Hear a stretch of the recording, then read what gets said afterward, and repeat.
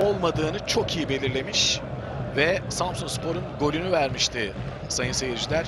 Özkan Çeliker gerçekten çok dikkatli bir hakem. Manisa Spor bir kez daha etkili geliyor. Offside yok. Dimitrov ve durum 2-0 oluyor. Dimitrov. İkinci gol yine Dimitrov ve Manisa Spor sadece 7 dakikada 2-0 üstünlük sağlıyor.